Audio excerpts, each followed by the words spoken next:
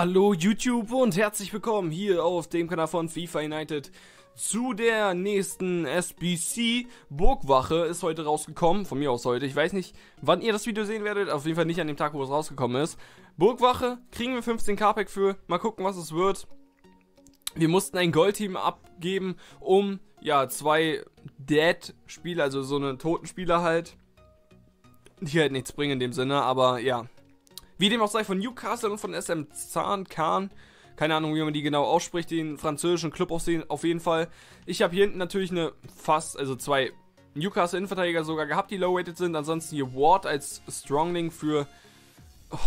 Gott, jetzt habe ich den Namen vergessen. Ist ja auch egal, Clark. Seht ihr gleich. Und ansonsten Montoya dadurch in die spanische Liga gegangen und dann hier auf Random halt reingekloppt. Wir haben halt im Endeffekt nur neun Spieler benutzt, haben sechs Chemiepunkte mehr als wir brauchen. Also ihr braucht mindestens drei Spieler auf Loyalität oder ihr nehmt halt hier alle drei Spieler von einem Verein, meinetwegen, die keine Spanier sind, weil wir dürfen nur maximal drei Spanier hier einbauen in dem Sinne. Und deswegen müsst ihr hier dann ein, alle aus einem Verein nehmen wenigstens. Oder ihr geht hier vorne halt mit Ligue 1 um K und Ligue 1 um K und ähm, um den Premier League Keeper, so wie ich es gemacht habe mit dem Premier League Dings.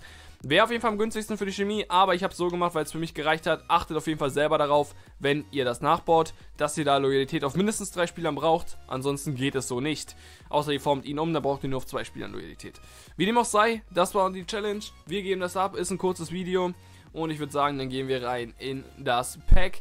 Eben gut Luck gehabt bei den Top-Partien weiß nicht, ob ihr die, nee, die werdet ihr später sehen, denke ich mal. Schaut dann auf jeden Fall da, später auch mal vorbei in ein paar Tagen, wenn die kommen sollten.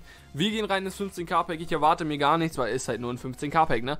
Von daher gucken wir, es ist kein Walkout, ich finde es so schade, dass man das vorher sieht. Wie dem auch sei, es wird kein Bildschirm, es wird ein deutscher ZM aus der Bundesliga, Sebastian Rudi.